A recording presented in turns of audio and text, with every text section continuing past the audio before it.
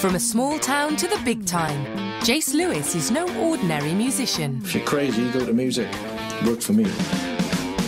Back home in Bridgend, This room is my studio slash office slash kitchen extension of my house. in India, he's a rock sensation. Which is going to come as a surprise to his mates. Well, I haven't told them yet. I just don't want to scare them. Planet Wales, a new series of documentaries that are out of this world. Starts with Big in India, Tuesday night, 10:35, BBC One Wales.